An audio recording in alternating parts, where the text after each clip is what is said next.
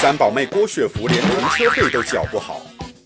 哎，寻常台北巷弄出现三名疑似是郭雪芙目标群众之寻常男子，殊不知啊，旁边停车场就停着郭雪芙那不寻常的车子。更惊奇的是啊，又出现了一名疑似郭雪芙的男子。哎，不对，他好像就是郭雪芙本人哎。这寻常男子嘻嘻哈哈、打打闹闹，完全不查女神正在执行一些吸食人间烟火的俗事。哎，好比缴停车费，但这台机器似乎跟女神有什么过不去哎。